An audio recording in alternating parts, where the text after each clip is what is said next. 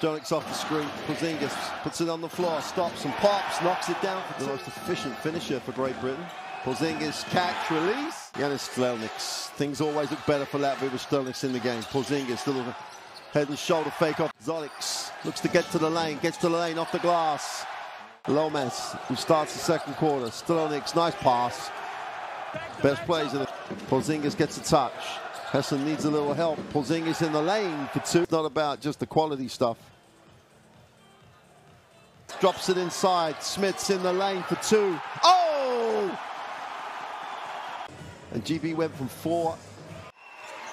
Porzingis in the block. Guarded by Soko. Almost went through Hesson's hand. Porzingis, watch out! City throws it down on the baseline.